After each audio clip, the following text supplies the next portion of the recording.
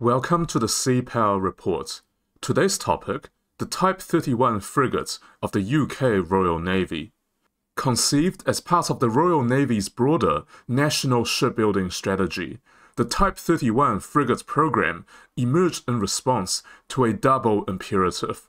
Firstly, the need to replace the aging Type 23 general purpose frigate, and the necessity of doing so under a constrained budgetary environment which has been the story facing the Royal Navy over the past two decades.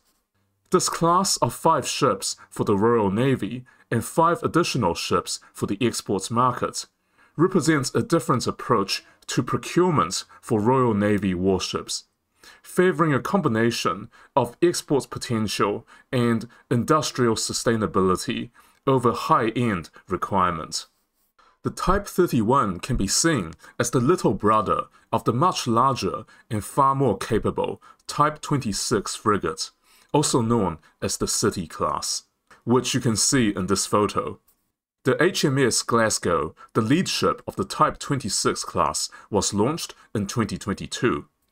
The synergy between the Type 31 and the larger Type 26 envisions a high-low mix for the Royal Navy fleet with the high end of that mix consisting of the Type 26 and the, the Type 45 air warfare destroyers, and the lower end being the Type 31 frigates.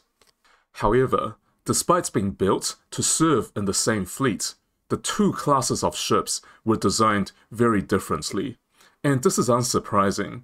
The Type 26 is being developed by BAE Systems, while in contrast, the builder for the Type 31 frigate is Babcock International. As such, the Type 26 is an entirely new, bespoke design from the ground up.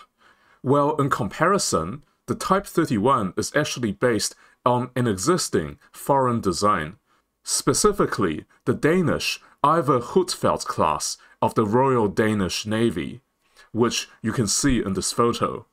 Among modern warships, it is most recognizable by its super-firing forward main guns. It also has a signature integrated radar mast containing an active electronically scanned radar in the form of four fixed faces for the AESA radar panel arrays, each facing a different direction. This arrangement will be borrowed heavily to an extent for the Type 31 frigate. Now, Unlike the Type 26, which is meant to be an anti-submarine warfare frigate, the Type 31, its smaller cousin, is a multi-role warship, a general-purpose escort. A jack of all trades that can undertake a variety of different missions, including not just anti-submarine warfare, but also anti-air warfare and surface-to-surface strike missions as well although not quite at the same level in each realm of capabilities as more specialized warships. For example, when compared to the Type 45 destroyers in the realm of air warfare, which the destroyer excels at. It is developed from the basic design submitted by Babcock International, known as the Arrowhead 140, a reworked version of the Danish Iver Huitfeldt class redesigned to comply with key operational standards, including UK defense requirements. Each Type 31 ship will have a length of around 140 meters with a displacement of greater than 5,700 tons and a standard complement of 105 crew members, although reportedly it has accommodation for more than 180 personnel, even though it requires only a crew of around 100. And this extra redundancy in terms of personnel accommodation could be beneficial for taking in mission-specific personnel on board, depending on the situation. For example, flight crew, or Marines, or Special Forces, or even refugees under humanitarian assistance missions. Or even just extra space to store supplies and disaster relief cargo, etc. Now, believe it or not, the timing of this video is actually quite good. I say with a tinge of hubris. because the lead ship of the Type 31 class, the HMS Venturer, had just been launched on the 14th of June in the city of Edinburgh, Scotland. This marks a major milestone in the ship's journey into service. You can see in this photo the HMS Venturer, whose hull had just been launched, being floated down the port area beside the shipyard of the Babcock International. The ship clearly cannot move as of yet under its own power, so the transfer is assisted by a pair of tugboats. Some degree of fitting out is evident, but the fitting out process is obviously not yet complete. Parts of the ship's superstructure and radar mast are also clearly still missing. So there's still a bit of work still left to do. Nevertheless, the launch of the ship still represents a major step to getting the ship into the Royal Navy. Now, many long-time observers of the Type 31 program and supporters of the Royal Navy in general must have breathed a sigh of relief when they finally saw the launch of the HMS Venturer, the lead ship of the Type 31 class. The delays and the setback we have seen in the frigate project to date have not been insignificant. The Type 31 project was first announced in 2015 and the frigate is actually expected to be in service by 2023, which, with the benefits of hindsight, was clearly an over-ambitious target. The onset of the pandemic and the tremendous impact it's had on the UK, including on the shipbuilding industry, represented another substantial setback for the Type 31 project. Owing to the pandemic, the completion target was revised in 2020, aiming for a launch date in 2023 and commissioning into service of the frigate by 2027. Given the launch timing in June 2025 that we have seen, even relative to the revised schedule in 2020, the program for the Type 31 frigate is still 15 months behind even the more delayed schedule. The ship is now expected to enter service around 2028, a further delay of around one year compared to the revised schedule following the pandemic. Interestingly, Babcock International still expects to get all five ships in the class into service by 2030. Now, that seems unrealistic to me, but they sound highly confident. I'd be interested to know where this confidence came from. Maybe they expect to get the subsequent vessels out faster after the first one had been finished, benefiting from the experience and the skills gained in constructing the lead ship. We'll see. Let's analyze a couple of photos from the launch. This one's courtesy of the Navy Lookout. This one shows that the Type 31 has a fairly standard raked bow, which provides a balance between sea keeping and forward deck volume.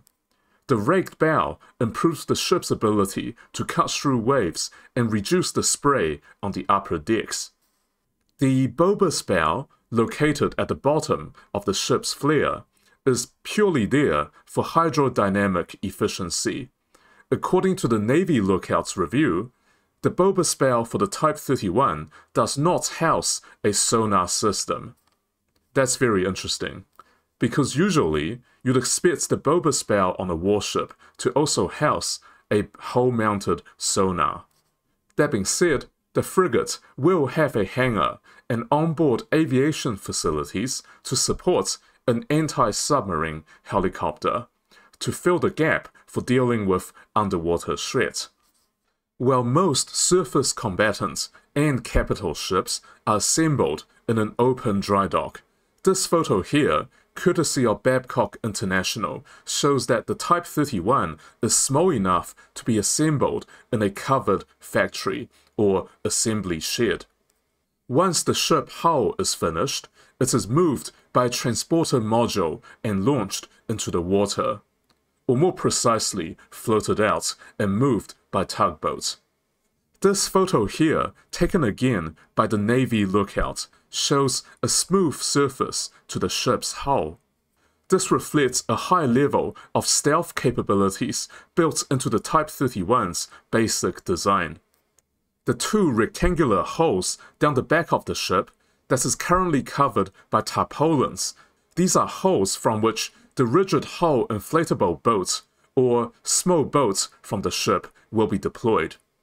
The Type 31 is expected to carry up to four rigid hull inflatable boats, two on either side. Here we have a top-down view of the finished hull of the Type 31, possibly taken by a drone. None of the weapons or the radar systems have been installed. At the front, you can see the rotating mounting for a gun turret housing a 57mm naval gun. Above the main gun, two additional gun mountings will be installed. These will mount a pair of the Bofors 40mm small caliber gun.